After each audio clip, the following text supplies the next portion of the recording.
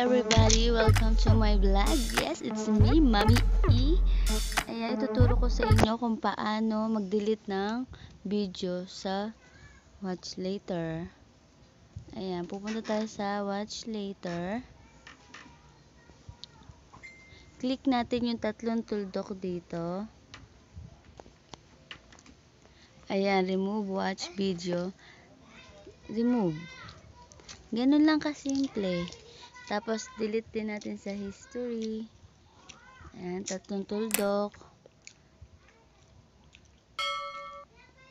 Ayan. Ayan po. Ayan, delete na sila pareho. Ganun lang kabilis. Simple lang. Yeah, thank you for watching. Salamat!